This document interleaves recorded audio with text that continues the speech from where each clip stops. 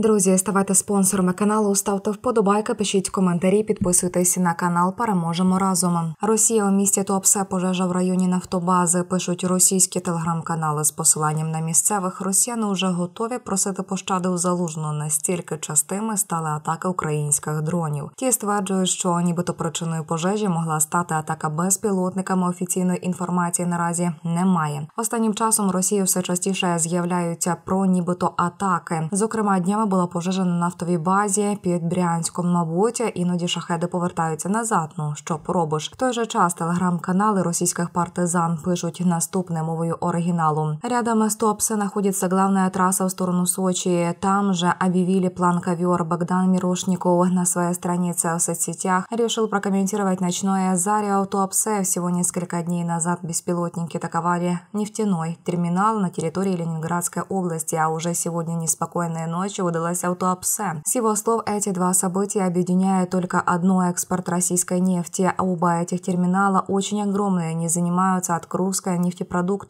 для продажи в третьи страны. Мирошников заявляет, что пожар был не на территории резервуаров с готовой продукцией, а на распределенной установке нефти всегда в РФ было много и нет смысла атаковать резервуары с черным золотом, а вот бить по оборудованию стоит из-за санкций со стороны Запада его сложно закупить, а если это и происходит происходит и а по цене в 3-4-5 раз дороже рыночной. Аналогическая ситуация была и у Устилуги. Еще парочку НПЗ есть рядом с Новороссийском и в районе Керчи, заметил Мирошников. Всего в районе Черного моря у РФ только три порта для экспорта нефти. Атаками беспилотников на НПЗ Украина вводит свои санкции против российской нефти. Президент Росії Путін припинить тероризувати Україну ракетными атаками, коли зрозуміє дві речі. Їх озвучив військово-політичний експерт Юрій Федоров в ефірі телеканалів. На його його думку, російському диктатору потрібно зрозуміти, що ракетний терор не досягає своїх цілей, крім того, у відповідь можуть наноситися удари по території Росії. Експерт переконаний, що Україні потрібно бити по військових цілях на території Росії, наприклад, ракетами Грім 2 Є прикордонне місто Валуйка, яке є транспортним центром. Все це законні цілі для ударів. Це може стати тим засобом, який напумить спочатку російських генералів, а потім, можливо, і Путіна. Додав Федоров до зустрічі. Друзі, ставайте спонсорами каналу, ставте вподобайки вподобайки, пишіть коментарі, підписуйтесь на канал. Переможемо разом.